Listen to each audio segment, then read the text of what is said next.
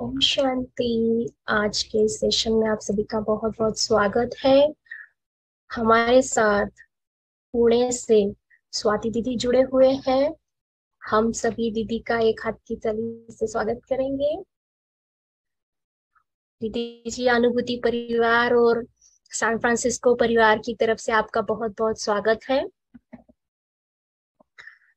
और दीदी जी के बारे में मैं कुछ कहूँ। वैसे तो दीदी जी को जब कहा मैंने कि आप अपना बायो और फ़ोटो दीजिए तो दीदी जी ने कहा, क्या ज़रूरी है? इतनी निरहंकारिता बाबा कहता है ना कि नम्रता दिखानी, दिखनी चाहिए हमारी जीवन से, हमारे हर एक कर्म से। और हमारा आज का टॉपिक भी वही है कि हम गणेश के जीवन से क्या प्रैक्टिकल सीखेंगे, क्या जीवन में उतारेंगे जो हमारे कर्म से दिखाई दे।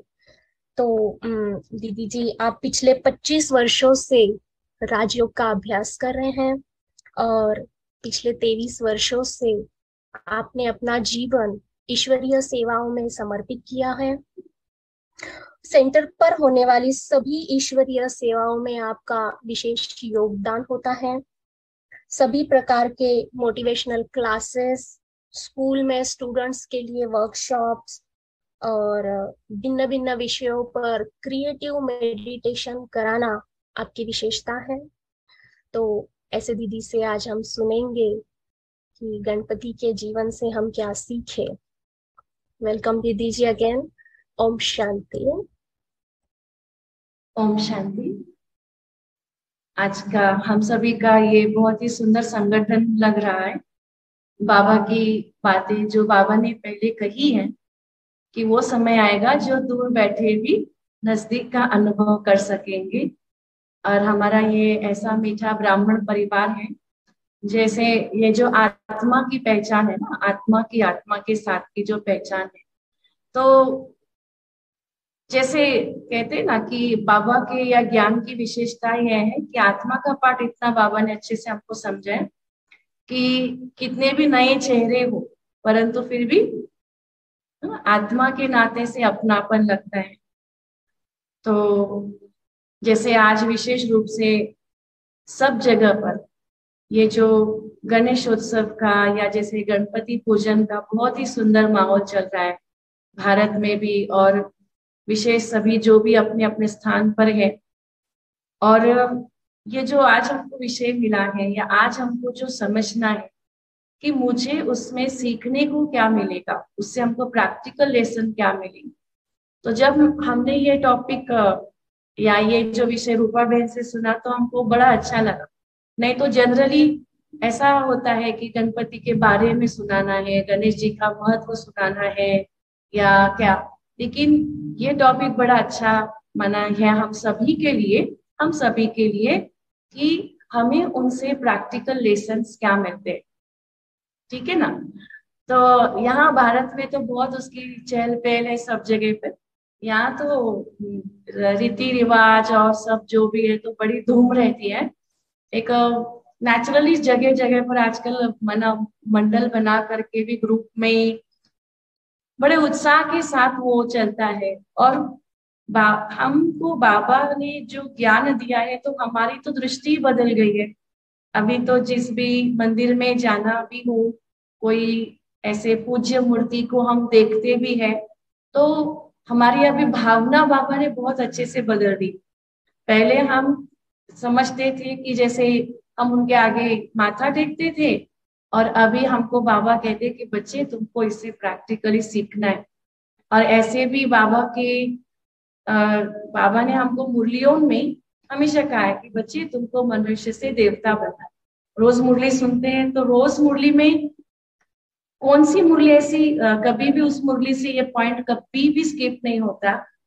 ऐसी कोई मुरली नहीं जिस मुरली में ऐसा पॉइंट ना आया हो कि बच्चे, मैं तुमको मनुष्य से देवता बनाने आया हूँ या तुमको मनुष्य से देवता बनने का पुरुषार्थ करना है। सभी मुरली में आता है ना ऐसी एक भी मुरली नहीं जिसमें आत्मा का पाठ नहीं आया हो और ये बाबा ने रिमाइंड ना कराया हो कि बच्चे, तुमको मनुष्य से देवता बनना है। तो एक बार बहुत अच्छे से देवता बनना है माना क्या बनना है? या कैसे बन सकते? तो यूँ तो आजकल जो बाहर में नाटक आदि करती हैं, या मूवीज़ या जो भी वो टीवी का बनाते हैं, उसमें बड़े आसानी से किसी को भी देवता बना सकते हैं। आराम से बना सकते हैं। कैसे बना सकते हैं? बस वो धारण कर ला, किया, पहराव धारण किया, ताज पहन लिया और बहुत अच्छे से श्रृंगार कर लिया तो एकदम से उनकी मूर्त बदल जाती है, सूरत बदल जाती है। और हम कहते हैं, देखो, जो आप सभी पुराने हैं तो पुराने सभी समझते हैं कि पहले ना एक रामायण की सीरियल आती थी, टीवी पर आती थी, रामायण की सीरियल। तो हम छोटे थे उस टाइम तो हम देखते थे वो रामायण जब लगता था, घर में एक कोई टाइम पे लगता था, सुबह या। तो इतने लोग, वो टीवी की भी पूजा कर इतनी भावना उनकी होती थी। और कोई बाहर इधर उधर नहीं, सारा रास्ता जो है ना, एकदम शांत हो जाता था, क्योंकि सबके घरों में ये चलता था। तो ये कहने का जो भाव है कि वो जिसने भी वो श्री राम का या श्री कृष्णा का कैरेक्टर प्ले किया होगा रोल प्ले किया होगा, वो जो भी एक्टर है, आज दिन तक भी लोगों को उनके प्रति भाव है कि नहीं, ये श्री राम है, ये श्री कृष्ण है। तो उनके हिसाब से तो उन्होंने सिर्फ़ श्रृंगार किया, बाहरी रूप से अपना पहराव जो है वो बदला। लेकिन बाबा हमको जो कहता है, बच्चे, तुमको तो मैं आया ही हूँ मनुष्य से देवता बनाने तो ये हमारा पूरा परिवर्तन तो अंदर का है, आंतरिक परिवर्तन।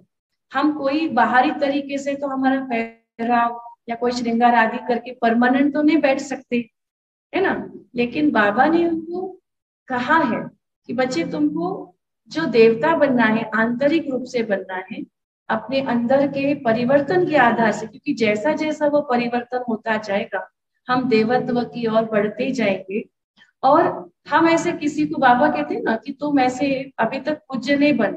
तो ऐसे ही हूँ, हम किसके सामने खड़े होके कहेंगे कि मैं देवता हूँ? तो कोई ना मानेगा थोड़ी।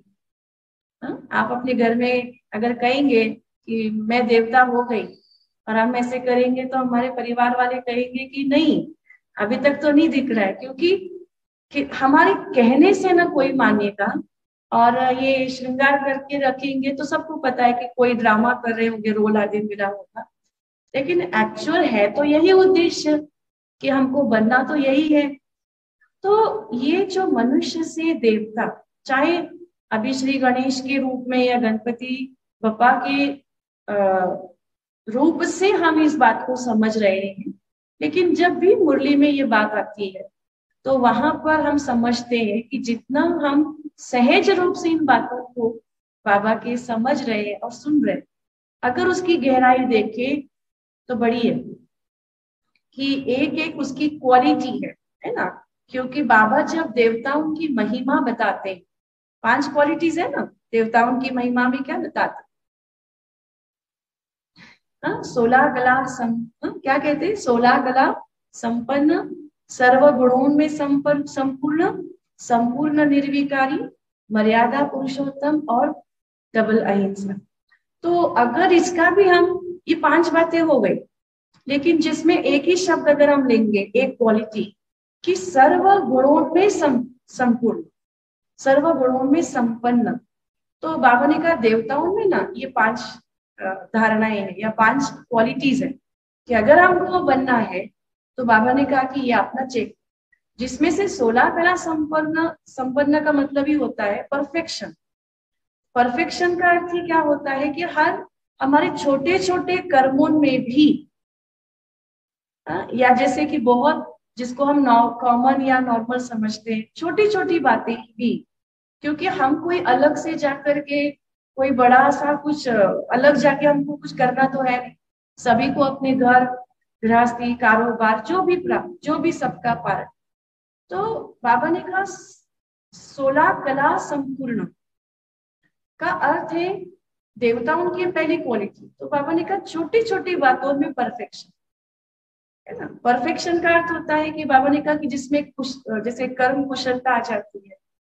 तो ये छोटी छोटी बातें चाहे एक छोटा सा काम ही है, एक किसी को पानी का ग्लास ही देना पीना एकदम छोटा सा या जैसे सिंपल कर्म है। लेकिन उसके अंदर भी बाबा ने कहा कि हमारा उसके अंदर परफेक्शन है ना? अभी उसके ऊपर हम सब अपना अपना चिंतन कर ही सकते हैं। कि इस तरह से बाबा ने कहा कि हर कर्म के अंदर कुशलता, हर कर्म के अंदर एक जो एक परफेक्ट स्वरूप जो होता है, उसके साथ साथ जैसे देवता बनने की बात चल रही है तो बाबा कहते हैं कि सर्व गुणों में संपन्न। तो जब ये मुरली में पॉइंट आती है और हम जब सभी को सुनाते हैं कि देवता बनना है तो क्या करना है? तो सभी कहते हैं, सोलह कला संपूर्ण संपूर्ण निर्विकारी, सर्व गुणों में मतलब वो शुरू हो जाता है। वो अभी पक्का हो गया ना? फिर हम तो उसके अंदर हम रुकती है। सर्व गुणों में संपन्न। तो बात पहली ये आती है कि सर्व गुण तो गुण कितने हैं भाई?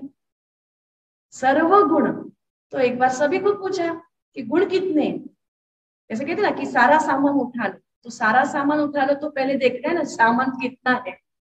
तो सर्व गुणों में संपन्न तो हम तो कोई ने कहा कितने होंगे सारे गुण। तो जो भी हम सभी आपस में तो कहते होंगे। कोई कहते छत्तीस गुण। किसी ने कहा, नहीं नहीं 108 गुण। किसने कहा, नहीं 150 है। किसने कहा, नहीं, हमने पढ़ा था कि करीबन 76 है। तो लिस्ट निकाली। पहले तो लिस्ट निकालनी पड़ेगी कि सर्व गुण माना उसमें क्या क्या आ गया। तो सर्व गुणों में फिर जो भी हमारी गुणों की लिस्ट है वो सबको है। फिर बाबा ने कहा कि आपको देवता बनना है ना तो वो गुण चेक कर। जैसे उदाहरण के लिए हम बताते हैं कि जैसे गुणों में हम बताते हैं सहनशीलता हर्षित मुक्ता मधुरता निर्भयता हम्म, पवित्रता नम्रता ऐसे बहुत गुण हैं लिस्ट में। तो बाबा ने कहा वो चेक करो कि पहली चीज़ तो है कि नहीं हमारे अंदर धैर्यता कितनी है? तो अगर हम इस बात को दिल से लगाते कि बाबा, हमको बनना है आप जो हमको चाहते हो, देवता। तो वो दिव्य गुण पहले तो पता हो, उसमें भी उसकी अच्छी सी लिस्ट हो। फिर आगे की बात आती है कि ऐसा कोई गुण नहीं है जो हम बच्चों में नहीं हो, देवता ही गुण सारे गुण हैं। लेकिन कैसे हैं? परसेंटेज वाइज जैसे एक है ना, धैर्यता का गुण। धैर्यता मतलब पेशेंस रखना है। तो कई बार ऐसे होता है ना कि कहते हैं ना कि भगवान को कहते हैं भगवान आप ना मुझे धैर्यता का गुण दे दो। मेरे अंदर पेशेंस को भरो पर जरा जल्दी हम्म, भगवान को कहते जरा जल्दी करो। मेरे अंदर पेशेंस का गुण भरना है आपको लेकिन बहुत जल्दी करो। तो एक एक गुण की लिस्ट हमको डायरी में लिखनी है। लिस्ट निकालनी है। फिर उसके आगे आती है बात। चेक करना है कि मेरे अंदर ये सारे गुण तो है। पहला आता है टिक मार करना, फिर आता है तीसरी स्टेप कि मेरे अंदर ये ये गुण संपन्न मतलब संपन्न बनना है तो कितना परसेंट होना है? Hundred percent. संपन्न होना है तो हंड्रेड परसेंट। अभी हंड्रेड परसेंट नहीं होगा। अगर बन जाएँगे तो हम तो गए। माना बाबा ने कहा कि देवताओं के राज्य में हम जाएँगे। तो हमको चेक कर कि जिसके अंदर, हमारे अंदर क्या हो जाता है कि गुण तो है सभी, लेकिन लिमिट में, लिमिट का मतलब ऐसा होता है कि एक समय आता है जहाँ पे हम कहते हैं, बस, अभी तो मेरे से नहीं होगा। बस, अभी तो ज़्यादा, अभी अभी इससे ज़्यादा मैं, हम नहीं कर सकते। हम कहते हैं, बस, अभी और कितना झुकेंगे भाई? तो वहाँ पर एक लिमिट आती है हमारी क्षमता के अनुसार। और बाबा ने कहा देखो, यहाँ ही मेरे आगे ये लिस्ट पड़ी है, मुझे पता भी नहीं था। ये देखो, यहाँ ही पड़ी थी। सामने ही थी, मुझे मालूम ही नहीं था। लेकिन इसके अंदर बहुत ही सुंदर इस तरह का ये बनाया हुआ है गुणों का। तो वो चेक करके फिर हमको देखना है, क्योंकि हर गुण आत्मा की चार्जिंग है। जैसे फ़ोन डिस्चार्ज हो जाता है तो बताता है कि अभी मैं जाने के इसमें रेड सिग्नल आता है। तो इस तरह से हर गुण की संपन्नता अर्थात हमारी आत्मा की चार्जिंग तो बाबा ने कहा कि अगर आप सम, हम समय पर इन सभी बातों को अच्छे से समझेंगे तो हम समय पर हमको कभी भी तकलीफ़ या धोखा जिसको कहते हैं वो नहीं मिली। या फिर हमको एकदम किसी प्रकार की परिस्थिति आने पर समझ में आता है कि अच्छा मुझे तो पता ही नहीं था कि इस बात में हम इतना सेंसिटिव तो चाहे जो भी बात हो तो एक सब्जेक्ट की शुरुआत के करने के हिसाब से हमको ऐसा लगता है कि हम अभी श्री गणेश जी का, गणपति बप्पा का सुनेंगे, लेकिन जब भी देवताओं की बात आती है तो हम, हमें पहला आता है कि बाबा ने हमको पहले से ही मुरलियों के द्वारा ये सारी बातें जो है वो समझाई। दूसरी बात, जैसे गणपति बप्पा या गणेश जी का अभी जब समय आता है ना तो अभी इस समय गणपति बप्पा आए ये सितंबर में। लेकिन पता है, ये मूर्तिकार जो होते हैं, मूर्ति तो बनानी पड़ेगी ना। तो आपने देखा होगा, यहाँ भारत में तो है कई जगह पे, और आपको वैसे भी पता है सभी को, कि मूर्तिकार जो गणेश जी की मूर्ति बनाते हैं वो जहाँ पर भी उनका कुम्हारों का या वो सब मूर्तिकारों का काम चल रहा होता है ना, उनका काम कब से शुरू होता है? जब उनको हज़ारों के अंदाज से, अंदाज में मूर्ति बनानी है तो उनका काम कब से शुरू होता होगा? है ना? तो करीबन वो तीन चार महीने पहले से शुरू करते तो हमारे एक सेंटर के बाजू में वो गणेश जी की मूर्ति का मूर्ति बनाने का ही रहता था। हम आते जाते देखते थे कि पहले सारी मूर्तियाँ उनकी, वो मिट्टी की शाड़ू की मिट्टी की बनी हुई सफ़ेद होती है। मतलब वो जिस साचे में डाल करके गणेश जी का वो एक कच्चा रूप जो है मूर्ति का, वो निकाला हो। उसके बाद उसको जब पेंटिंग पे लेते हैं तो बहुत सुंदर नज़ारा होता है। एक शेल्फ पे सारी कच्ची कच्ची ये मूर्तियाँ हैं, बनाई हुई। सबको क्लियर हो रहा है? पॉइंट एक सीन होता है वो आ, कलर देने वाले मूर्तिकार होते हैं। उनके आगे टेबल होता है। उस टेबल पर उन्होंने वो मूर्ति रखी रहती है।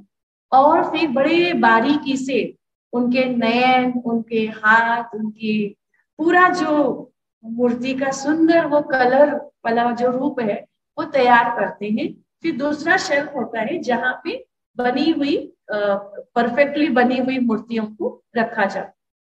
हमारा ऐसा नहीं है। हा? हम भी अभी टेबल पे आगे कि नहीं? हम तो पहले तो जब आए तब तो हम कच्चे मिट्टी के जैसे थे। हमारी कोई स्वयं का कुछ रंग रूप, आकार ऐसा कोई नहीं था। हम तो ऐसे ही बाबा के पास आए कि भोले भगवान के पास भोले बन के आए थे। अब बाबा जब कहता है कि बच्चे, मैं तुमको देवता बना रहा मतलब हम टेबल पे आ गए ना उनके? आए या नहीं आए? और वो क्या कर रहा है हमारा? बट और आप देखो, गणेश जी की मूर्ति को देखो या किसी भी मूर्ति को इतनी फाइन आर्ट होता है वो, कि जब उनका आप वरद हस्त भी देखोगे ना तो हाथ की रेखाएँ तक वो निकालते आँखें भी जब पेंट करते हैं तो आँखों उनकी वो पुतली भी उसमें निकालते इतना रिफाइन इतना फाइन वो वर्क होता है। और ऐसे अनुभव होता है कि बाबा हम आत्मा को देवता बना रहा है तो जैसे बाबा वो मूर्तिकार है हम हमको बाबा ने टेबल पे ले लिया है और बाबा हमको क्या कर रहा है? हाँ, ये रूहानी रंग से हमारी आकृति तैयार जब हम बन जाएँगे तो हम दूसरे शर्त पे चले जाएँगे। तो हमारा नंबर आया है कि नहीं? तो हम अभी टेबल पे है कि नहीं? तो वो बाबा हमको इतना सुंदर आर्ट से तैयार कर रहे हैं। हर एक के अंदर अलग अलग तरह के गुण, विशेषताएँ भर रहा है। क्योंकि गणेश जी का हम जब स्टॉल देखते हैं तो हमने देखा है कि गणपति सब होते हैं। गणेश जी है, पर एक जैसी मूर्ति नहीं होती। सबके रंग अलग अलग होते हैं, सबकी बैठक अलग अलग होती है। बच्चे छोटे छोटे बच्चे भी जाते हैं, बड़े भी जाते हैं, सारे स्टॉल को देखते और अपनी जो उनकी भावना है, उस भावना से गणेश जी का वो लेकर आते हैं। तो जब वो बनी बनाई मूर्ति जब शॉप से आती है तो बड़े ही रिस्पेक्ट से पूजा आदि करके जब वो घर में स्थापित हो जाती है या मंदिर में स्थापित हो जाती है, तब देखो उसकी कितनी पूजा होती लेकिन कब होती है? सारा उसका आर्ट या उसकी सारी रंगत, उसके अंदर का पूरा रूप तैयार होने के बाद। ठीक है? तो इससे हमको समझ में आता है ना कि अभी हम कहा हैं? वो मूर्तिकार के टेबल पर है। बाबा हमको बहुत अच्छी तरह से क्या कर रहा है? हमारे अंदर वो गुणों की, शक्तियों की रंगत भर रहा है।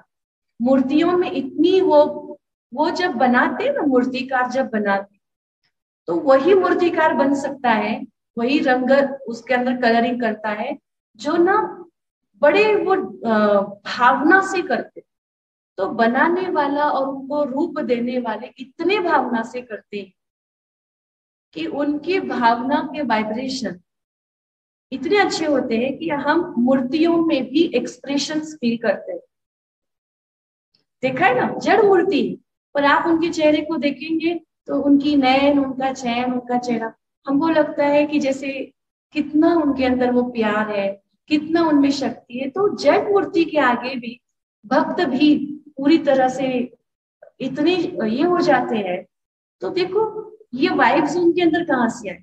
क्योंकि उस मूर्तिकार ने बड़े लगन से, बड़े शिद्दत से, बड़े मेहनत से, प्यार से अपनी पूरी जैसे भक्ति लगा करके वो बनाया हुआ है। तो हमारी भी वो जो मूर्ति बन रही है, और बनाने वाला कौन? बनाने वाला हमें जो मिला हुआ है उसके जैसा तो सुंदर और उसके जैसा तो कलाकार दुनिया में कोई है ही नहीं। तो फिर बाबा कहते, बच्चे, मूर्ति से मूर्ति का स्पष्ट होगा। ना? जैसे रचना को देख करके सब समझेंगे किसने बनाई? तो हमें देख करके हमको बनाने वाला स्पष्ट होगा। तो ये बड़ी हमारे लिए भाग्य की, खुशी की बात है कि चलो, हम टेबल पर आ गए। टेबल पर आने का मतलब है कि हमारा नंबर आ गया। संगम युग की टेबल। तो शेल्फ याद रहेंगे ना? एक शेल्फ है जो अभी तक लाइन में। दूसरा है मूर्तिकार और टेबल, जहाँ पे उसका पूरे काम होता है। और आगे का होता है कि जब वो बन जाते सेवा में लग जाते तो अभी हम सेवा में लग गए ना सभी, क्योंकि हमारा पूरा वर्क काम होने के बाद ही हम सेवा में लगते नहीं तो अभी तक बाबा ने कहा ना कि सेवा करते हो मतलब अगर हम किसी को कुछ सुना नहीं सकते या कुछ सेवा नहीं कर पाते मतलब अभी तक हमारे ऊपर बाबा मेहनत कर रहा लेकिन हम चाहेंगे ना कि हमारी भी इस तरह से बाबा हमारे द्वारा सेवा कर। दूसरी बात यह है कि जब विशेष रूप से श्री गणेश जी का जिस भी तरह का भक्ति मार्ग में महत्व है या उनका जो भी उनके बारे में कथा है या उसमें सबसे एक सुंदर बात यह है कि वो आदि पूजनीय प्रथमेश बोलते हैं उनको। प्रथमेश का मतलब होता है सबसे पहले वो पूजा के या मान के अधिकार। जो भी वो कथा में बताया हुआ है कि पहले तो वो हमारा उनको अच्छा था। उनको फेस तो बच्चे के रूप में ही बनाया था ना पार्वती। और पार्वती ने कहा कि तुम बाहर हाँ, गेट के पास खड़े रहे रक्षा कर। उसको, बस उसको माता पार्वती ने आदेश दिया, सो वो अपना कर्तव्य कर रहा था। लेकिन जब वो स्वयं वो दिखाते हैं कि भगवान आते हैं तो वो भगवान को भी अंदर जाने न दी। तो बहुत समझाने के बाद भी जब वो नहीं समझ पाता, तब जैसे उसमें दिखाते हैं कि उसका शीश जो है ना, वो उड़ा दिया। कथा में तो शंकर जी का बताते हैं। जब पार्वती देखती है कि उसका शीश क्यों उड़ा दिया? अभी मैंने तो उसको बनाया था। उन्होंने कहा ठीक है। वो उसके लिए फिर कहता है अपने नंदीगणों को कि जाकर के जंगलों में उत्तर दिशा की तरफ़ जाओ। उसमें जो भी आपको पहला नज़र आए जो भी आए उसका शीश निकाल करके बिठाएँगे। सो so, कथा के अनुसार हाथी ही मिलता है इनको। फिर वो हाथी का शीश लेकर के आते और उनको बिठा देते हैं। और फिर उसका नाम गजानंद होता है। आनंद का मतलब होता है चेहरा तो पार्वती कहती है कि उसको ऐसा अपने चेहरा बिठाया, सब लोग तो डरेंगे इनसे और कहेंगे, ये कैसी मूर्ति है? ऐसा कोई होता है क्या? तो मेरे बच्चे को तो सब कुछ ना कुछ कहेंगे तो वो और दुखी हो जाती है। पहले दुखी हुई कि आपने मेरे बच्चे को क्यों ऐसे मारा? फिर और दुखी होती कि ऐसा आपने उसको चेहरा बिठाया तो कैसे सभी लोग तो डर जाएँगे? तब वो वरदान उनको देते कि नहीं, डरेंगे नहीं, लेकिन अब से भक्ति में कहीं पर भी कोई भी मंगल कार्य हो, शुभ कार्य हो, या किसी भी प्रकार की पूजा हो तो सबसे पहले श्री गणेश जी का ही आवाहन करेंगे, उनकी ही पूजा करें। इसीलिए जैसे आदि वंदनीय के रूप में गणेश जी को माना जाए और हमारा ख्याल थोड़ी चलता है कि इनका हाथी का क्यों? लेकिन ये जो हाथी का जो उनका शीश दिखाते हैं एक्चुअली वो हाथी का पूरा चेहरा जो है, वो पूरी तरह से उसके एक एक कर्मेंद्रियों का बड़ा ही सुंदर अर्थ है, जो कि हमारे पुरुषार्थ के पूरी तरह से ये कंसेप्ट है। अगर हमको देवता के रूप में आगे, देवत्व में जाना है अगर हमको अपने जीवन में उन्नति करनी है तो हमें यह करना ही करना हो, जो कि श्री गणेश जी ने अपने स्वयं के चेहरे के या फेस के रूप में बताया जो कि बाबा का वाक्य है कि अंतिम टाइम पे हमारे चेहरे से ही सेवा हो। चेहरे से ही मना कैसे होगी? क्योंकि चेहरे पर अर्थात हमारी आत्मा से वो सारी गुण शक्तियाँ निकले तो उसके अंदर सबसे सुंदर बात बता जाती, बताई जाती अगर हम वो उनके गणेश जी के, गणपति बप्पा का फेस अगर देखे, जो कि एलिफेंट का तो वही क्यों है? तो उसका सबसे पहला हम लेते हैं आँखें। क्योंकि शरीर के हिसाब से ना आँखें जो है छोटी छोटी आप अगर गाय का या बैल का भी अगर आप देखेंगे ना, उनकी आँखें बड़ी बड़ी होती है। पर हाथी जो है या अपना गणपति बप्पा की जो आँखें, छोटी आँख। तो छोटी आँखें का अर्थ ही क्या होता है? जब आप कभी कभी कभी हम बहुत दूर का देखते हैं ना दूर का। तो नेचुरली ना आँखें छोटी हो जाती है। कुछ तो चीज़ बाहरी हमको देखनी होती है ना, सुई में धागा पिरोना होता है तो भी देखो आँखें छोटी करनी पड़ती है। है ना? बड़ी आँखें नहीं करती, छोटी आँखें। तो ये चीज़ इंडिकेट करती है कि दूरदृष्टिता। दूरदृष्टि का मतलब होता है जिसको बाबा कहते हैं ज्ञानी आत्मा का जो एक नेचर होता है, कोई भी कार्य को लेकर, कोई भी विशेष बात को लेकर के हमेशा दूरदृष्टि मतलब अब जो हम कर रहे हैं, इसका आगे भी किस तरह का परिणाम होगा? उसके आदि मध्य अंत, हर बात के सभी पहलुओं को समझते हुए, क्योंकि जो बात ज़रूरी नहीं कि जो बात आज अच्छी है वो कल भी अच्छी रहेगी। और ये भी ज़रूरी नहीं कि जो आज बात हमको लगता है कि ऐसा आज ये ठीक नहीं है, वो हमारे लिए बाद में भी ठीक नहीं रहेगी। कुछ बातें होती है। दूरदृष्टिता का मतलब ही होता है हर चीज़ को उसके आदि मध्य स्वरूप में देखना। जिसको दूसरी बात कहते परखना। तो अभी समय अनुसार परखने की शक्ति की सबसे ज़्यादा आवश्यकता है। परखना जो होता है, एक होता है देखना और एक होता है परखना। आँखों, आँखें जो होती ना, आँखों से ही दोनों कार्य होते हैं, देखना, परखना। तो जैसे हम हम कई बार कुछ भी लेने जाते हैं मार्केट में, चाहे हम सब्ज़ी लेने जाए या हीरा लेने जाए, या कुछ सोना लेने जाए या कुछ भी लेने के लिए जाए, कपड़ा लेने जाए तो हम उसको देखते हैं कि परखते सिर्फ़ देख के मतलब जैसे कोई चीज़ देखने में अच्छी लगी, लग रही है, पर वो अच्छी होगी ही, ये हम नहीं कह सकते तो उसको परखा जाता है ना? कई बार देखो मार्केट में जाएँगे, कोई फ्रूट्स लेने तो फ्रूट्स को देखते, देखने में अच्छा लगता है, लेकिन उसको हम थोड़ा हाथ में लेकर उसको जज करेंगे, परखेंगे, क्योंकि जो देख, हम देखना अलग है, परखना अलग देखना मतलब नेचुरली कर्मेंद्रिया को जो समझ में आ रहा है इसी को देखना। लेकिन परखना हमेशा बुद्धि से होता और परखना, बाबा ने हमको कहा कि यहाँ क्या परखना है? क्योंकि हमारे आगे जो भी बातें, व्यक्ति, परिस्थिति, जो भी आएगी तो जैसे मैंने कहा ना, बाबा ने कहा कि हर चमकने वाली चीज़ सोना नहीं होती। तो हमें, अगर हम देखने पर ही विश्वास करेंगे तो वो मना जैसे ऑर्डिनरी हो गया, लेकिन ज्ञानी आत्माएँ परखने वाली होती जैसे बाबा ने हमको परख के लिया है ना, परखा है ना तो बाबा ने कहा हाँ ये मेरा बच्चा है। और तभी उसने हमको सेवा में लगाया। तो ये परख। दूसरी बात ये है कि जैसे हम भी अनुभव करते कई बार हम किसी व्यक्ति को समझने में मैं भी चुप जाते और हम कहते मुझे लगा ही नहीं कि ऐसा है। मतलब हम केवल उसके बाहरी रूप को हमने समझा कि नहीं नहीं। लेकिन हमने परखा नहीं तो हमको बाद में उसका लेसन मिलता है कि नहीं, हमने थोड़ा परखना चाहिए।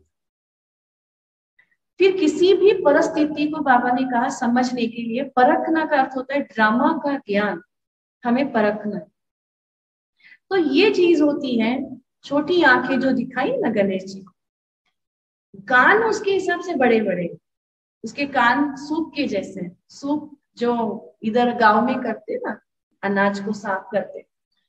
तो ये भी आजकल की बड़ी माया है कि हमारे कान जो है तो कहते हैं ना कि सूप जो होता है, सूप अर्थात जिसमें माताएँ गाँव के तरफ़ अनाज जो साफ़ करते ना, ऐसे ऐसे करके उसको सूप बोलते तो ये कान भी जैसे उनके ऐसे दिखाए हैं। इसका अर्थ है हमें ऐसे मिलते रहेंगे कि जिसके अंदर सब टाइप की बातें, क्योंकि कान को दरवाज़ा है नहीं, जैसे आप, मुझे देखना है तो मैं आँख तो बंद कर सकती हूँ, और कान थोड़े ना बंद कर सकते है। सिस्टम ऐसा? नहीं है। तो कान में सब चीज़ें जाएँगी। और तिरसठ जन्मों के संस्कार के कारण हमारे कान में वो बातें जरा जल्दी जाती है जो थोड़ी नकारात्मक ह्यूमन नेचर है ये कि कई बार हम देखते हैं कि जब कहा सत्संग चल रहा हो या कहाँ पर कुछ भी ऐसी प्रवचन की बातें चल रही हो, ज्ञान की बातें चल रही तो कई बार इंसान सो जाता है, नींद आ जाती है। क्यों ऐसा होता है? क्योंकि संस्कार ऐसे होते हैं कि इतनी सकारात्मक बातें या इतनी शुद्ध ज्ञान की बातें अंदर नहीं जा पाती। लेकिन वही, और उसमें कई बार ऐसा होता है सभा में कि लोग वैसे भी पीछे बैठने, पीछे से शुरू कर देते हैं बैठना। आगे ही आकर के रेयर होते हैं। लेकिन वही अगर कोई ऐसी दूसरी बात हो, जैसे कोई ने ह्यूमन नेचर है, हमारी बात हो तो कोई ने कहा कि ये फलाना ना आपके लिए ऐसा बोल रहा था नेगेटिव तो हमारी नींद भी टूट जाएँगी और हम कहेंगे, बताओ, क्या बता रहा था? ऐसा बोल रहा था। तो हम उसको बहुत ही ह्यूमन नेचर के हिसाब से जल्दी इंटरेस्ट आ जाता है ऐसी नकारात्मक बातें या हार्मफुल बातें या जैसे किसी ने हमको कहा कि नहीं, आपके लिए ऐसा कहा जा रहा था तो हम उसको सुनेंगे भी, सोचेंगे भी और भूलेंगे भी नहीं। ऐसा हो सकता है कि किसी ने हमको बताया कि फला, फलाना व्यक्ति आपके लिए ऐसा कह रहा था और हमने कहा, ठीक है ना। तो अगर हमारा ऐसा है मतलब हमारे सूप के जैसे कान है। लेकिन बहुत जल्दी मैग्नेट की तरह नकारात्मक और ऐसी उल्टी सुलटी बातें हमारे दिल में दिमाग में जाके बैठ सकती हैं। तो बाबा ने कहा है कि बच्चे अलर्ट अलर्ट हम्म, मतलब बाबा ने सुना है ना कि आपको सुनना ही नहीं है। तो सुनना तो कहा ना इधर तो है नहीं ना कुछ ऐसे दरवाज़ा कि मुझे नहीं सुनना होगा तो मैं सिस्टम को ऐसे कर लू। वो अंदर तो जाएगी पर जिसमें बाबा ने कहा सुनते हुए भी नहीं सुनना है ये अभ्यास हमको पुरुषार्थ के हिसाब से गणेश जी के इस मुख के द्वारा समझ में आता है। ये बात स्पष्ट है?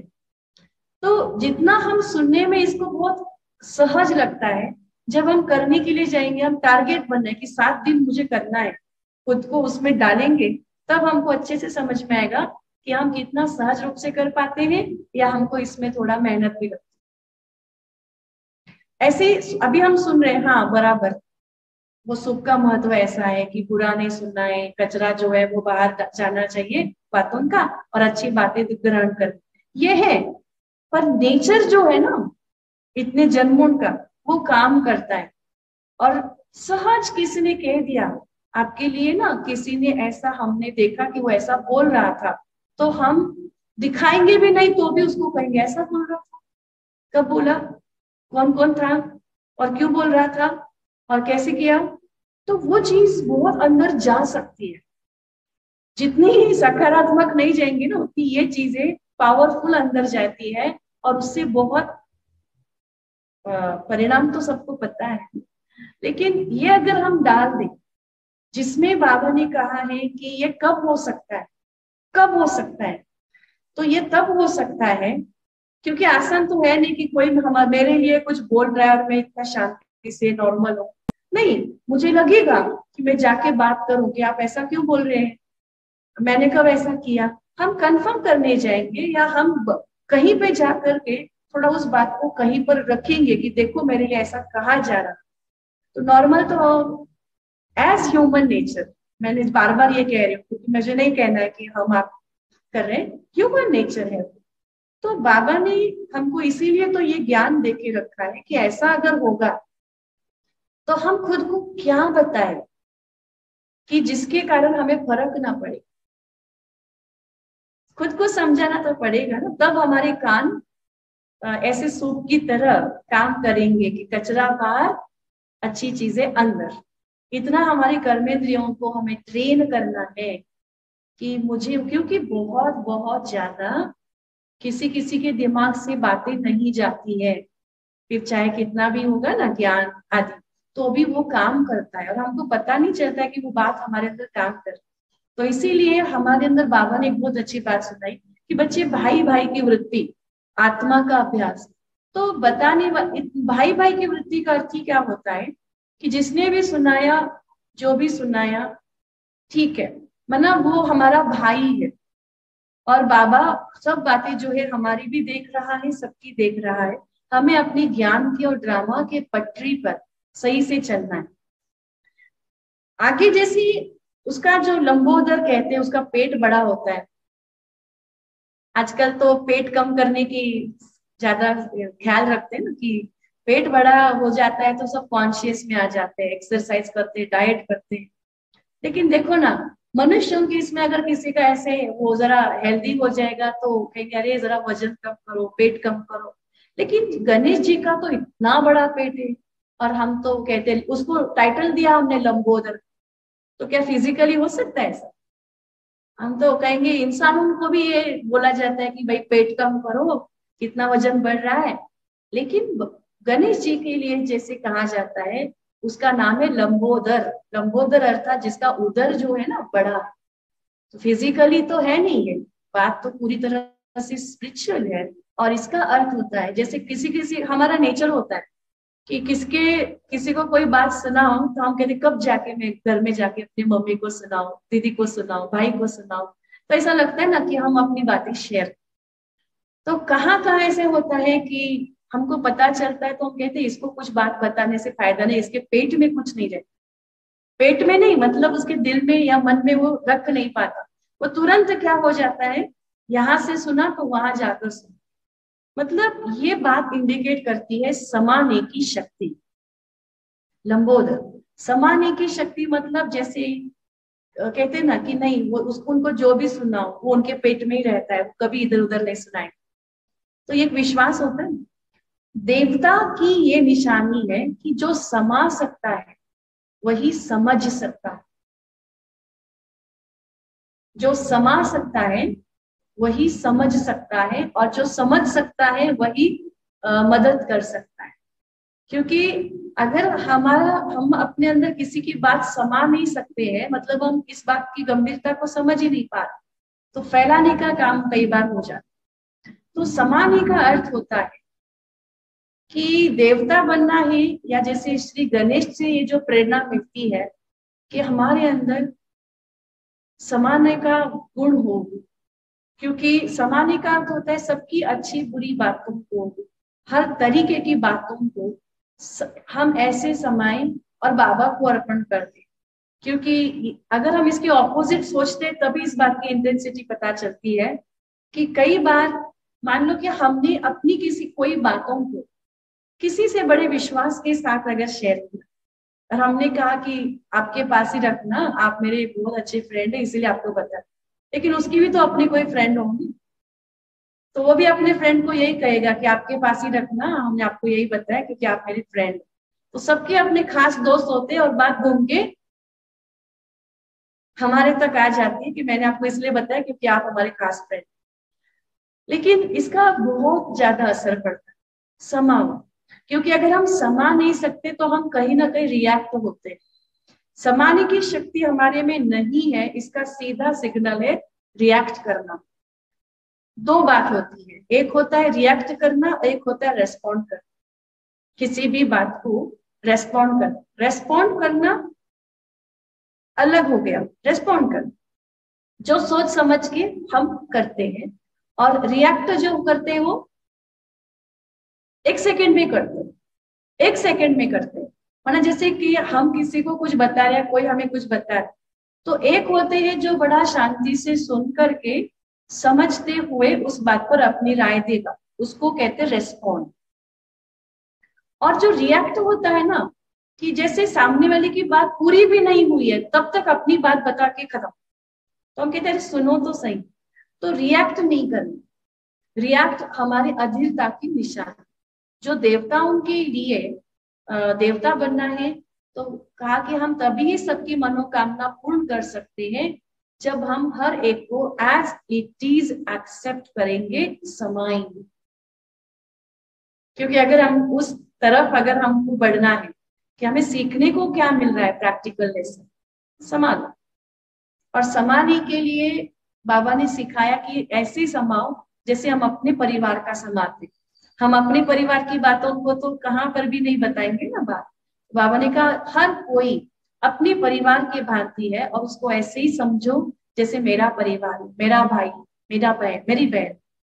तो रिएक्ट होना ये भी अधीरता की निशानी है और रेस्पॉन्ड करना ज्ञानी आत्मा की निशानी। जैसे एक सुना था कि जैसे एक हाथ में बिस्लेरी वाटर बॉटल पानी की बॉटल है, जो बंद है, और एक हाथ में सोडा की बॉटल है। दोनों को शेक किया।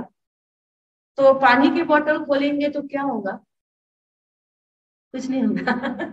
लेकिन सोडा की बोतल शेक करके जब उसको खोलते हैं तो हाँ तो ये हो गया रिएक्शन रिएक्ट करते रिएक्ट मतलब तुरंत तुरंत जैसे बात को काटना या तुरंत जैसे अपनी बात को पहले रखना तुरंत किसी बात को डिनाई करना ये नहीं। देवता है देव, देवता है क्या? हम अपने बाप दादा को देखते हैं ना हमारे बाबा को देखते, बाबा, अगर हमने डायमंड हॉल में बाबा के साथ मिलन बनाया है तो हमने उसमें देखा कि बाबा का सुनने का तरीका, सुनाता तो है बाबा, लेकिन जब सबका सुनता है ना तो कैसे देखो ऐसे ऐसे करके आप देख भी सकते हैं कि वो कान हिलाते मतलब वो सुन रहे भगवान भी सुनता है। तो हम तो भगवान के बच्चे हैं।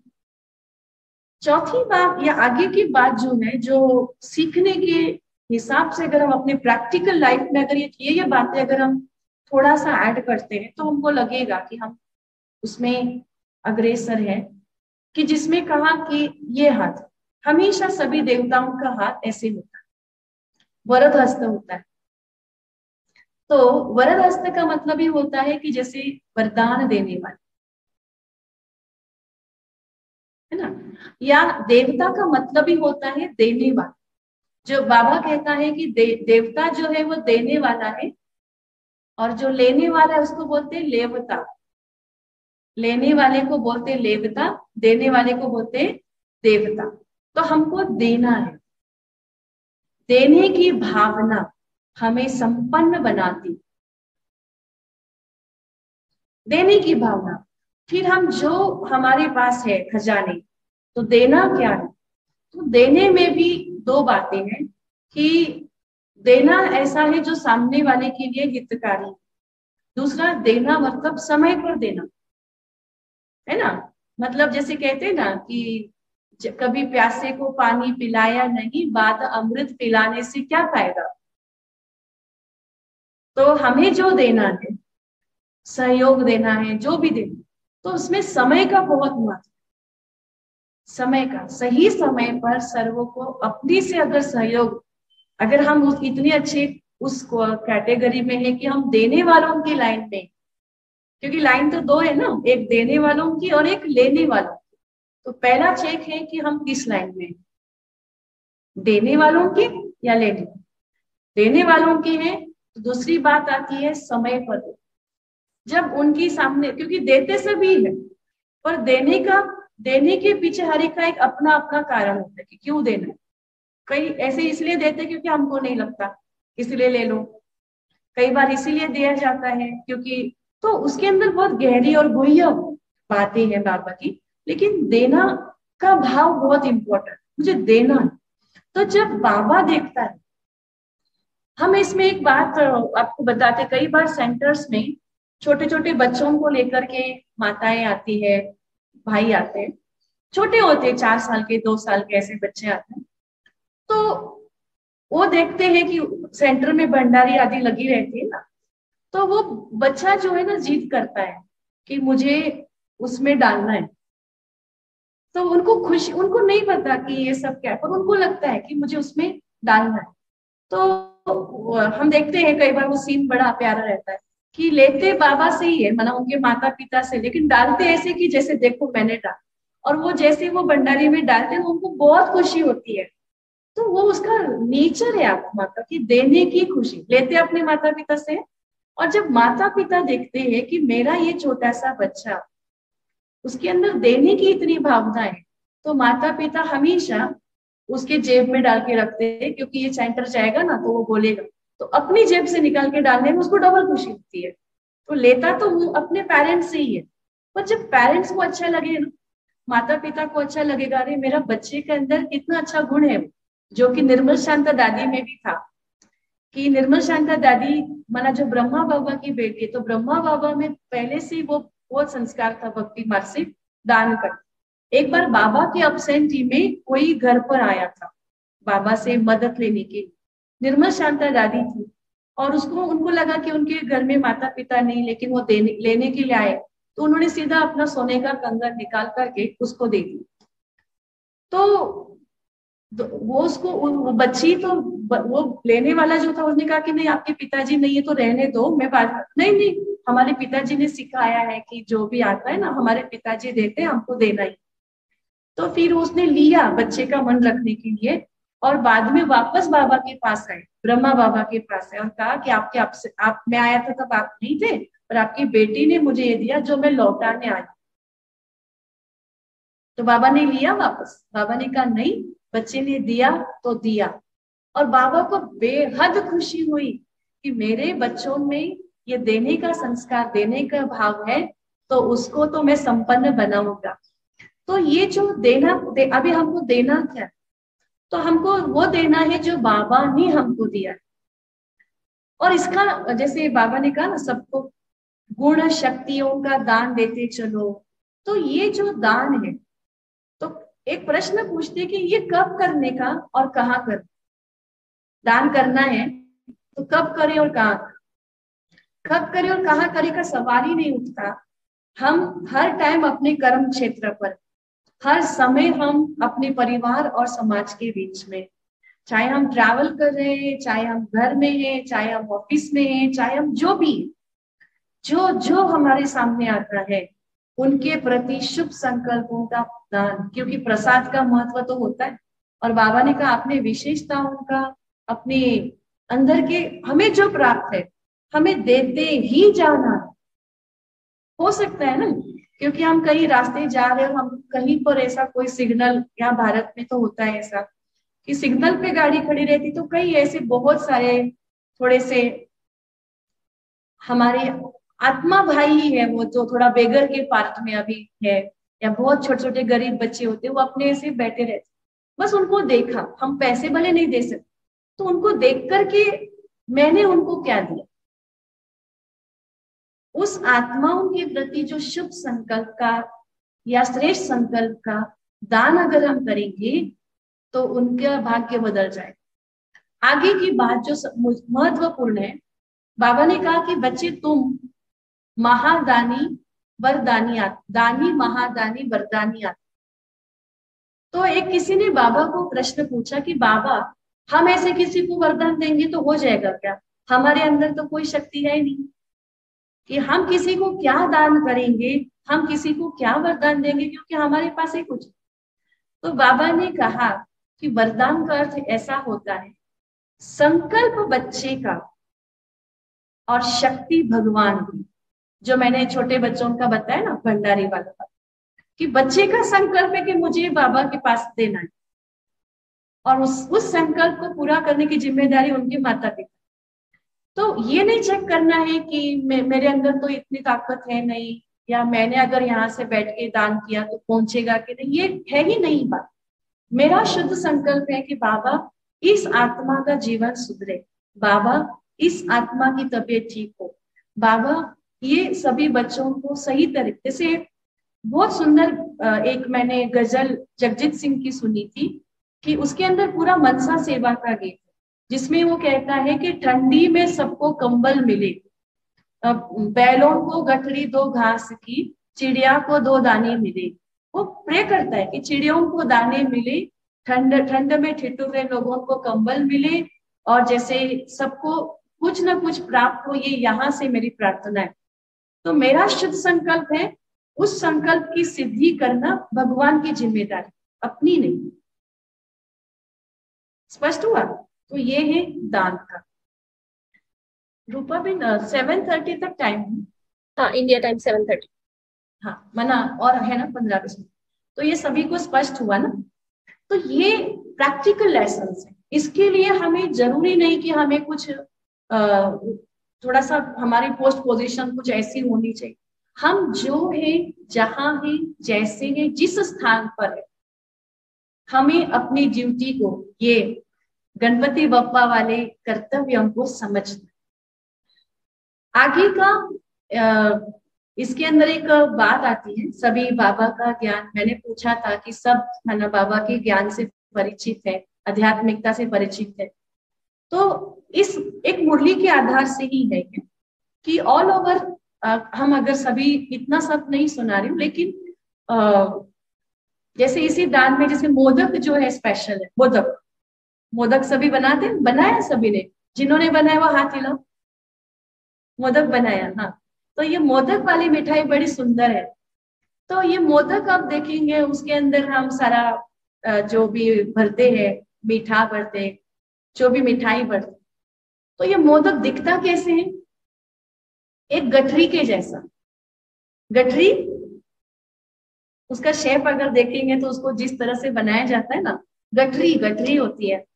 और उस गठरी के अंदर सारा मीठा मीठा होता है। तो ये गठरी का बड़ा ही आ, हर जगह पर अपनी अपनी बात कि सब बाबा ने कहा कि तुम्हारे ऊपर ये गठरी है तुम्हारे ऊपर।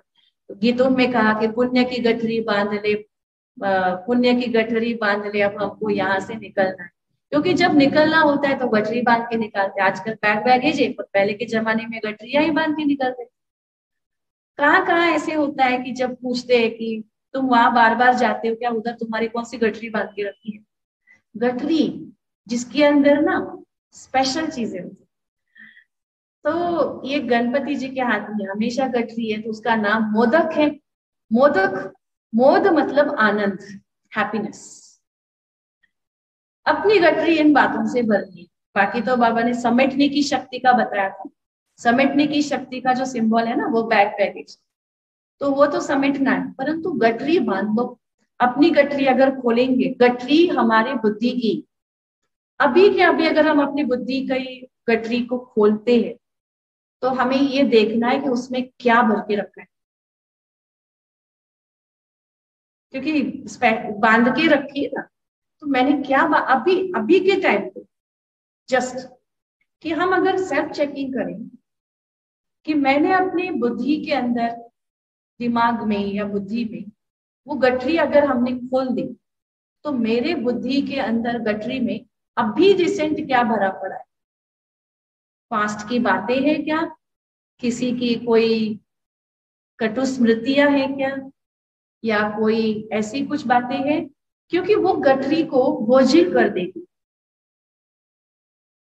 तो हमें ऐसा करना है कि गठरी बांधनी है तो खुशियों प्यार कि जो खोले और अगर किसी को मिल भी जाएगी और वो कोई खोलेगा तो उसके अंदर ऐसी चीज़ें निकले जो अनमोल हो। तो उसमें हम क्या भरें? तो जो बाबा ने कहा ना जो कीचड़ पट्टी है, जो व्यर्थ है, हमें उसमें से उसको निकाल देना, कि नहीं चाहिए, क्योंकि बात, कई बार कोई कोई बातें हम दिमाग में रखते हैं हम कहते हैं कि ये बात तो मैं कभी मतलब थोड़ी सी हर्ट वाली चीज़ है, हर्ट वाली या नाराज़गी वाली बात।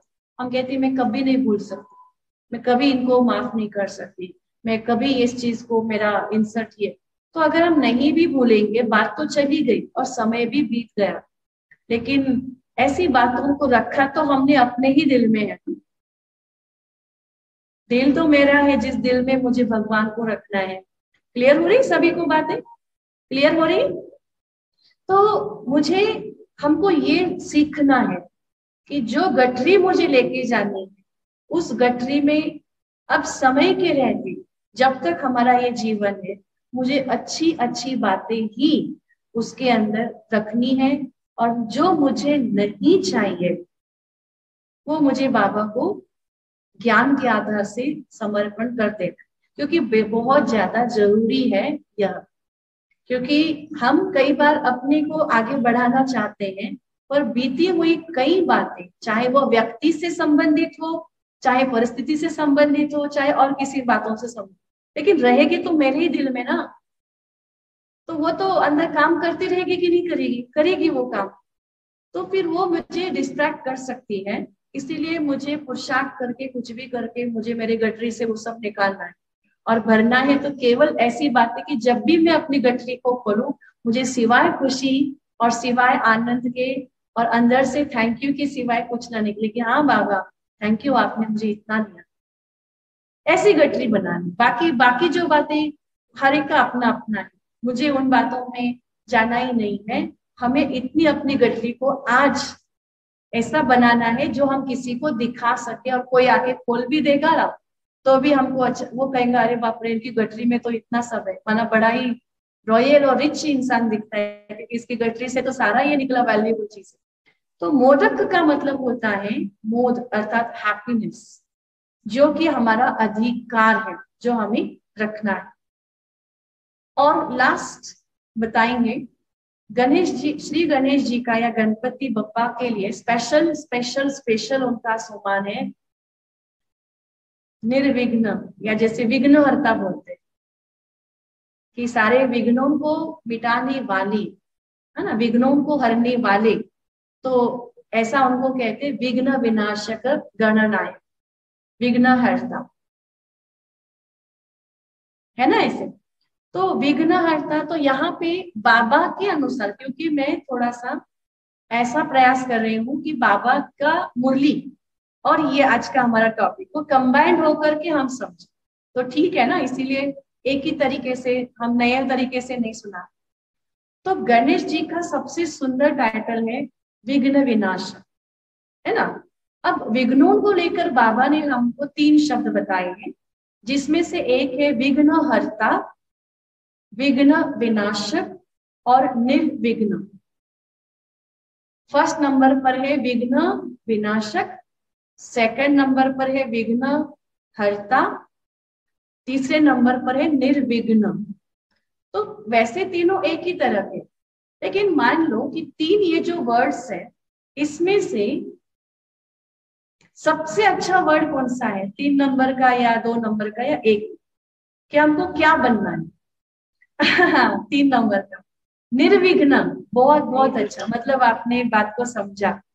कि बाबा के कहे अनुसार बाबा जो हमको बनाना चाहता है तो बाबा कहते हैं निर्विघ्न तो विघ्न विनाशक और विघ्न हरता इन तीनों का पहले अर्थ समझते हैं। विघ्न विनाशक का कई बार रोज की मुरली में कई बार वरदान आते हैं कि विघ्न विनाशक भव तो विघ्न विनाशक मतलब विघ्न आएँगे फिर हम उनके साथ लड़ेंगे सामना करेंगे और ज्ञान और योग के बल से उसका विनाश कर। विघ्न विनाश। तो बाबा ने कहा कि बच्ची, उसमें भी आपकी एनर्जी जाती है, उसमें भी आपको समय देना पड़ता है, उसमें भी आपको संकल्प चलाना पड़ता है। जीत तो जाते हैं, विजयी भले बन जाते हैं, पर इसमें भी बाबा कहते कि हमारा एनर्जी तो जाती है। विघ्न आएँगे बार बार विघ्न आते हैं, फिर हम बार बार उनसे लड़ते हैं, फिर वो विनाश, जीतते हम, विजयी बनते हैं।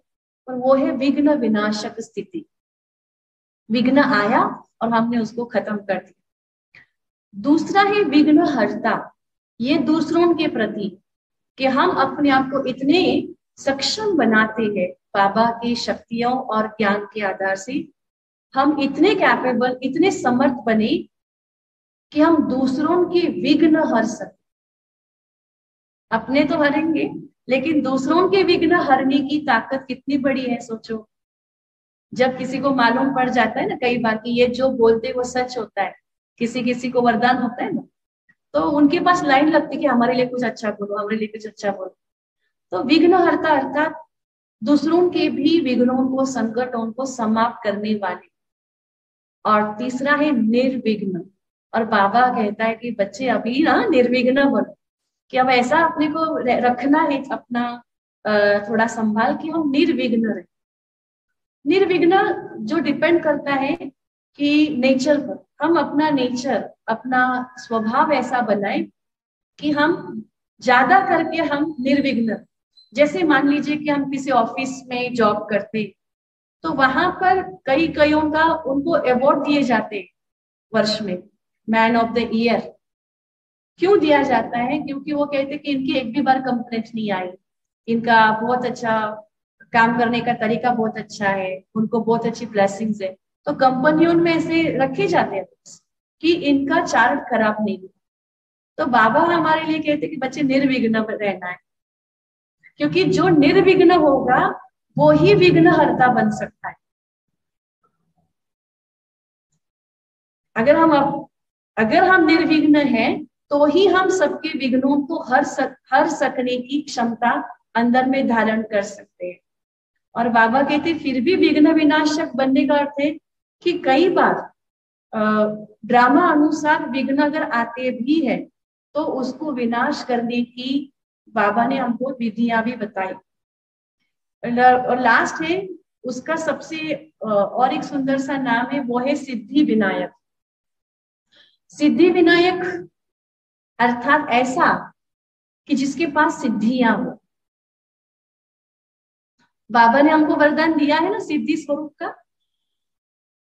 तो सिद्धि स्वरूप का अर्थ होता है कि हमारे अंदर सिद्धि सिद्धि का मतलब होता है प्राप्ति। अभी किसी के पास, हम कहते हैं ना कि बड़े सिद्धि है और भारत में गणपति के लाखों लाखों लाखों मंदिर है यहाँ पे। लेकिन आपको पता तो सभी को होगा कि विशेष, जैसे पुणे में एक गणपति है, जिसको दगड़ू शेठ हलवाई गणपति कहते हैं। बॉम्बे में है, जहाँ पे लालबाग में। तो इनका क्यों स्पेशल नाम क्यों आता है? तो कहते वो जागरूक है। आप वहाँ जाके अगर कुछ बोलेंगे ना, वो हो जाता मतलब वो जागरूक है मतलब सिद्धि है। तो जितने गणेश जी उतने तो हम भगवान के बच्चे तो यहाँ बैठे ही है। सबके अपने अपने एरिया के गणपति तो सब होंगे ना। कोई कहते ना, ये दादी मतलब यही गणपति होगी, वो दादी मतलब वही गणपति हो कई बार हम कहते ना, यहाँ का गणपति मतलब आप ही हो। तो गणेश जी के सब जगह पे पूजा होती, पर कहीं कहीं के स्थान जो है श्री गणेश जी के, वो जागृत देवस्थान। जागृत देवस्थान का मतलब होता है कि वहाँ पे अगर कोई जाके माथा टेके और कुछ कहे हो जाता। तो ये सिद्धि बाबा कहते, बच्चे, तुमको तो अधिकार के रूप में जन्म से लेकर मिले। तो सिद्धि का मतलब हमारे पास कौन सी सिद्धि है? एक है संकल्प सिद्धि, एक है वाणी की सिद्धि और एक है कर्म की सिद्धि। संकल्प सिद्धि का मतलब है कि जो संकल्प करो, वो सिद्ध हो जाए। कितना अच्छा होगा? कि आज हमने संकल्प किया, कि आज तो और हुए कि नहीं, आपका अनुभव होगा बाबा के पास। कि आज हमको ये खाने की दिल हुई, बाबा, ये खाने की बड़ी दिल हो रही है। किसी को लगा होगा कि मुझे आज केक खाना है या मुझे आज खीर खानी है, लेकिन किसी को कुछ बोला नहीं। बाबा को कहा कि, बाबा, हमको आज ये चीज़ खाने का दिल कर रहा है। और उसी समय सेंटर में वही भोग बन जाएगा। मधुबन में वही खाना बन गया। तो कहते अरे बाबा ने मेरा संकल्प पूरा कर दिया। तो संकल्प सिद्धि एक सिद्धि है। और बाबा ने हमको वो दिया है वरदान। ऐसे नहीं कि उसके लिए बहुत, जो संकल्प निस्वार्थ होते, शुद्ध होते हैं और सर्व के हित में होते हैं, बाबा उन संकल्पों को पूर्ण, बाबा या हमारी कर्मों की, या हमारी जो भी ताकत है, वो संकल्प को सिद्ध करती वो संकल्प सिद्ध होते जिसमें हम अटैच नहीं होते। ये भी बात है। कई बार अच्छे ही संकल्प होते हैं, पर उसके साथ हम बहुत अटैच है। ना? बाबा कहते जब आप डिटैच होंगे, तब वो संकल्प सिद्ध होते तो यह है संकल्पों की सिद्धि। ठीक है? दूसरी है वाणी की सिद्धि। जो बोलो वो हो जाएगा। सिद्धि विनायक बनना है ना अपने को? तो जो बोलो वो हो जाए। ये भी कितनी अच्छी बात है। किसी किसी को है सिद्धि। आप में से कोई बैठा ही इधर? हाँ? होते हैं ना ऐसे लोग, कहते इनके जीवा पे सरस्वती बैठी है। तो वो बोलेंगे ना तो उन, ऐसे लोग हमने देखे हैं कि उनकी वाणी में सिद्धि होती है कि वो बोले तो हो जाता है। इसलिए कहते हैं शुभ बोलो हमेशा। और जिसकी वाणी सिद्ध होती है, उसको गुस्सा कभी मत दिलाओ। ऐसे है ना? एक मज़ाक की बात है ये। तो वाणी की सिद्धि का अर्थ ही होता है कि ये हमारी वाणी सिद्ध कब होगी? जब हम वा, अपनी वाणी को हीरे से भी ज़्यादा स्वयं मूल्य दें। अर्थात जिस वाणी में झूठापन ना हो जिस वाणी में कभी किसी की ग्लानी ना हो जिस वाणी से कभी बाबा की श्रीमत के विरुद्ध ऐसा जो वाणी कभी नहीं करती है उस वाणी में सिद्धि की शक्ति होती है। ना? हमारी बड़ी दादियाँ, हमारी दादियों की अनुभव है कि दादी जो बोलती थी वो होता है। बाबा ने जो बोला सब हुआ। ना बाबा की मुरलियों में आता है ना, आगे चलकर बहुत वृद्धि होगी, आगे चलकर विदेश में भी सेवा होगी, आगे चलकर बहुत सेंटर बनेंगे, आगे चलकर सन्यासी भी आएँगे। ये बाबा ने बोला था। ना तो आज हम देख रहे हैं ना, वाणी की सिद्धि के लिए बहुत ज़रूरी है कि हम किसी के लिए कुछ कहे, उसके लिए वो सिद्ध हो। इसमें भी ज़िम्मेदारी बाबा की और नियम वही कंसेप्ट वही कि निस्वार्थ हो। जन, सबके हित में हो, मंगलकारी हो। और तीसरा है कर्म की सिद्धि, कि जो हम कर्म करें, वो सफल हो। सफलता बाबा कहते हैं, बच्चे, आपके गले का हार है। तो इस तरह से ये सारा सिद्धि विनायक का स्वरूप है। और ऑल ओवर अगर हम देखेंगे तो ऐसी सारी संगम युग की, ज्ञान की धारणाओं का ही ये प्रैक्टिकल मूर्त हमारे गणपति बप्पा है। और इस तरह से हमको अपने जीवन में इन्हीं से ऐसी प्रेरणा रखनी है, क्योंकि अब वो समय दूर नहीं है कि जो बाबा ने कहा कि आप बच्चे संसार में प्रत्यक्ष होंगे और सब आपको उस नज़र से देखेंगे कि इनको भगवान मिला। या सब कहेंगे अच्छा आप आप, क्योंकि अभी देखो ये बहुत ये होता है, क्योंकि सभी को जैसे जैसे ज्ञान स्पष्ट होता जा रहा है, सारे ऐसे उसके बिना विनाश होने वाला है नहीं।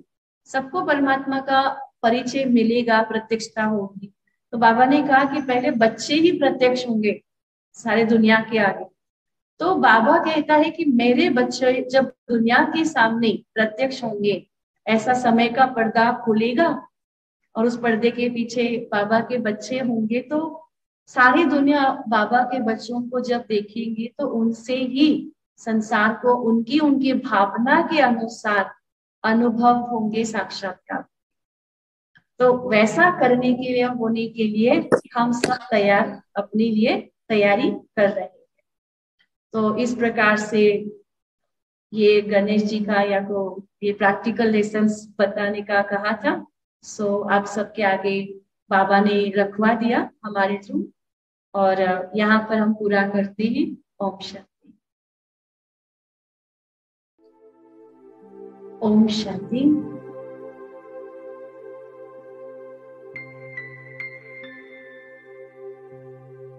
इस शरीर में मस्तक के बीच में स्वयं की चमकती हुई सुंदर आत्मा का अनुभव करें। महसूस करें। एक हीरे की तरह मैं आत्मा इस शरीर रूपी मंदिर में चमक रही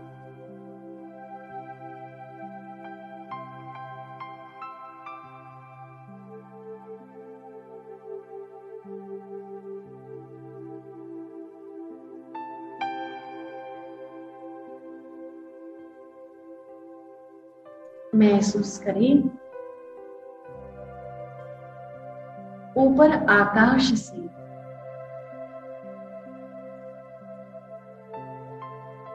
परम धाम से। शिव बाबा की। शक्तियों की, वरदानों की किरणें। रेशम की धागों की तरह।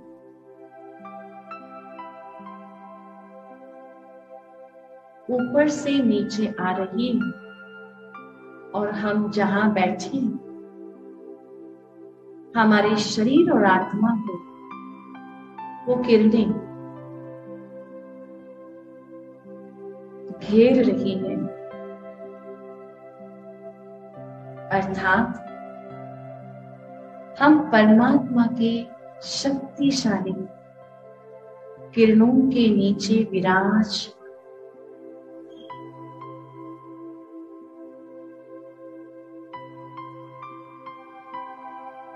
मुझ आत्मा और परमात्मा के बीच ये डिवाइन लाइट का कनेक्शन हम महसूस कर पा रहे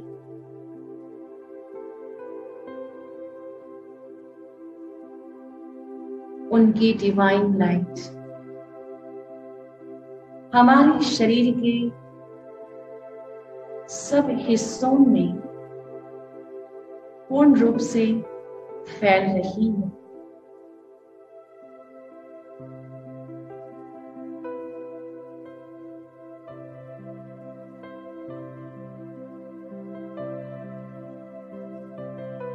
इसी किरणों के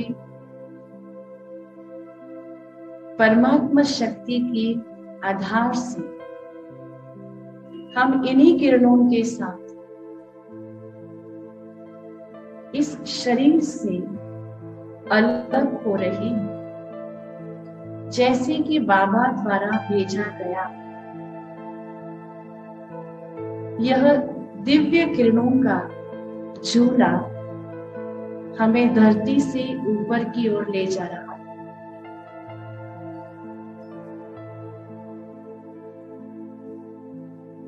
धरती के आकर्षण से दूर आकाश मार्ग से, बादलों से आगे, तारों से आगे। वो परमात्मा किरणें मुझे ऊपर की तरफ़ ले जा रही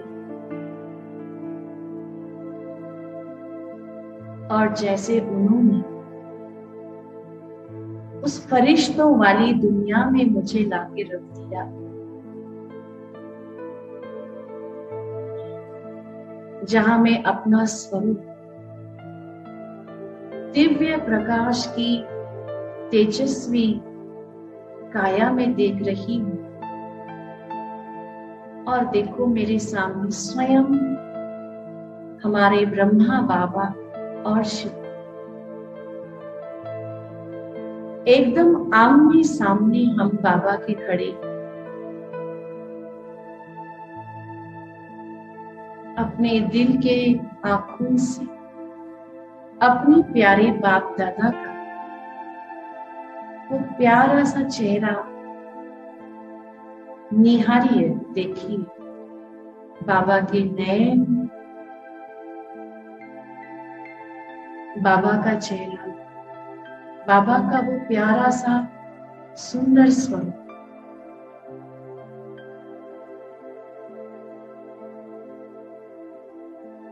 एक चिक देखती रही और यहाँ हम साइलेंट हो जाएँगे और आपको आगे करना है कि, बाबा मुझसे क्या रू रूरिहान कर रहा बाबा मेरे कानून में मुझे क्या देख सुनाई, सुना रहा है?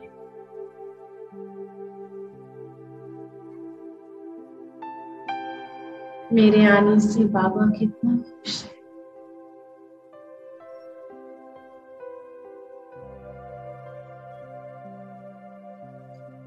एकदम शांत मन से सुने कि मुझ आत्मा को बाबा क्या कह रहे हैं।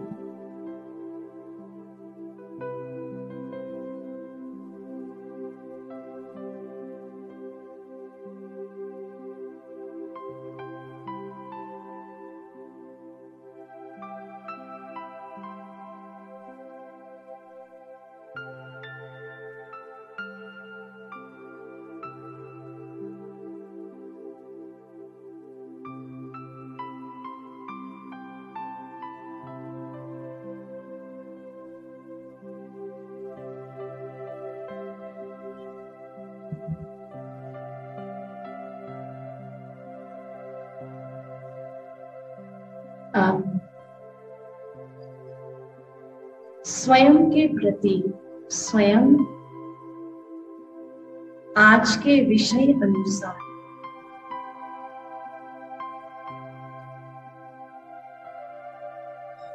सिद्धि विनायक, श्री गणेश, ये जो हमारा पूज्य स्वरूप है तो हम अपने लिए आज विशेष क्या कमिटमेंट कर सकते हैं? हम खुद से विशेष कौन सा संकल्प खुद के लिए कर सकते हैं? इसको चेक करना है। रियलाइज़ करना है। एकदम दिल से अपने श्री गणेश के पूज्य स्वरूप को सामने रखते हुए मैं आज आज से अपने रेगुलर रूटीन में कौन सी कौन सी बातें विशेष अभ्यास के रूप शामिल कर सकते हैं? सेल्फ रिफ्लेक्शन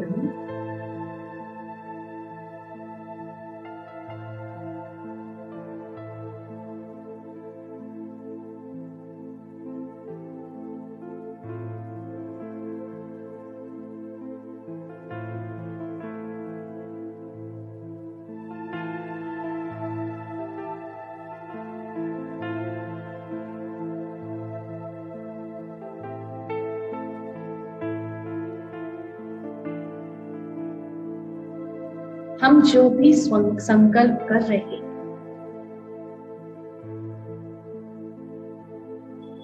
हर श्रेष्ठ संकल्प में डायरेक्ट भगवान का सहयोग सदा है।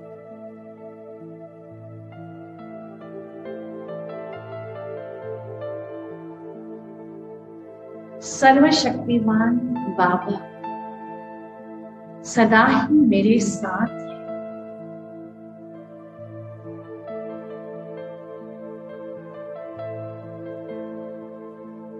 मुझे अपने प्रभु के नज़रों सबसे अच्छी मूर्ति बनकर दिखाना है। ऐसी मूर्ति जो मेरे मूर्तिकार परमात्मा को बहुत बहुत खुशी हो मुझे देखकर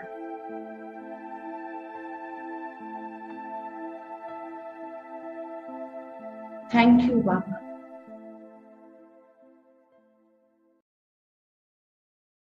अब हल्का श्वास लेकर के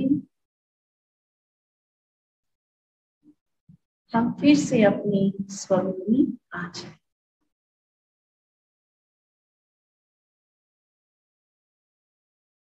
ओम शांति